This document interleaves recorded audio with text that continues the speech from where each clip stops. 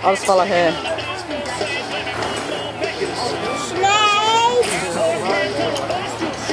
All right, we now move to Katie. She'll be followed by Bobby Joe Blake to be on deck. Katie Vaughan makes a home at Williams, just outside of Childers. The QRA Barrel Racing and All-Round Champion. The 2010 National Rodeo Association Steer Undecorating and also Finals Champion. Katie Vaughan around that first turn. Rise of the second. Rise of the third. How about making some noise, ladies and gentlemen, for the Booyal Cowgirl, Katie Vaughan. Stops the clock at 16.